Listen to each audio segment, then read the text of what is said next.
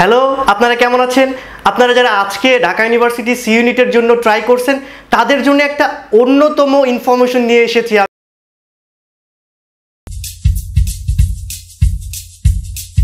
যে ইনফরমেশনটা আপনার জানা উচিত, না জানলে আপনার লাইফটা হুমকির মধ্যে পড়তে পারে ব্যাপারটা কি? আমরা ডিটেলস আলোচনা অবশ্যই করব। আপনি সি ইউনিট প্রিপারেশন নিচ্ছেন ইন্টারের পরপর ঠিক শুরু করছেন পড়া, এখন পাঁচ থেকে ছয়টা সাবজেক্ট আপনাকে পড়তে হচ্ছে শুধুমাত্র সি ইউনিটের জন্য। কিন্তু আমি কি, আপনি কি একটা বিষয় জানেন যে এই সি ইউনিট প্রিপারেশন নিয়ে আপনি কোথায় কোথায় টিকতে পারবেন? হ্যাঁ শুধুমাত্র ঢাকা ইউনিভার্সিটি সি ইউনিট ছাড়া আর কোথাও এই প্যাটার্ন কোশ্চেন নাই। অবাক হইলেন?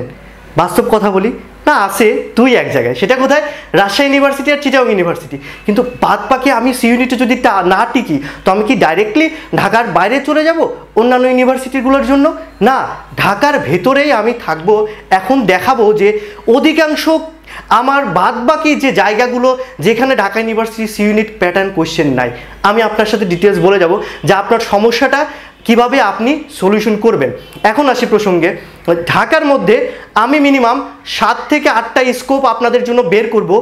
বারোশো থেকে পনেরোশো সিট আপনাদের জন্য বের করব, যেখানে আপনি Dhaka university C unit pattern question পাবেন না, এবং সেগুলো বিবিএ আমি বলি কথায়, বাংলাদেশ ইউনিভার্সিটি অফ প্রফেশনালস নাম তো শুনছেন? এইটার জেনারেল বিবিএ এবং বিজনেস ফ্যাকাল্টি চারটা ডিপার্টমেন্ট সব মিলিয়ে পাঁচশো সিট এর বাইরে জাহাঙ্গীরনগরের আইবিএ এবং জাহাঙ্গীরনগরের বিবিএ চারটা ডিপার্টমেন্ট সব মিলিয়ে মিনিমাম তিনশো, সাড়ে তিনশো অথবা চারশো সিট তার মানে কি? নয়শো সিট আপনাদের বের হয়ে গেছে। কিন্তু আপনি কি জানেন, এখানে কিন্তু completely Dhaka university C unit pattern question না। কি আসে?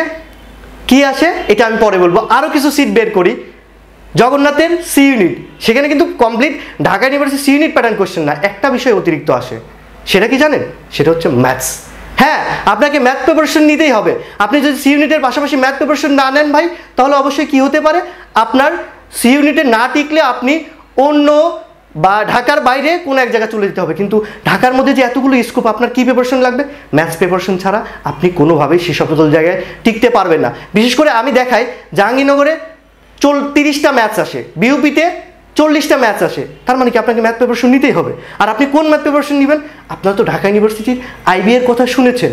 তো ওই সকল জায়গায় ম্যাথগুলো হয় কি? এই আইবিএ প্যাটার্ন কোশ্চেন আসে। তো আপনার এই আইবিএ ম্যাথগুলা বা এই সেম টাইপের ম্যাথগুলো প্র্যাকটিস করে যেতেই হবে। ম্যাথ প্রিপারেশন ছাড়া আপনি কোনোভাবেই ওই সকল জায়গায় পরীক্ষা দিতে পারবেন না। তার পাশাপাশি কী করতে হবে? ম্যাথস প্রিপারেশন নিতেই হবে। ম্যাথস প্রিপারেশন নিলে কতগুলো এক্সট্রা জায়গায় আপনি পরীক্ষা দিতে পারছেন? কেন? আপনি কি ঢাকা ইউনিভার্সিটি সিউনিতে চান্স না হলে কি অন্য আই মিন আপনার লাইফটা নষ্ট করবেন? না, পাশাপাশি আপনাকে একটা ফিডব্যাক রাখতেই হবে। হুমকির মুখে পড়বেন না, মাথায় রাখবেন যে আমার ম্যাথস প্রিপারেশনটা নিতেই হবে। আর ম্যাথ মানে এত কঠিন কিছু না।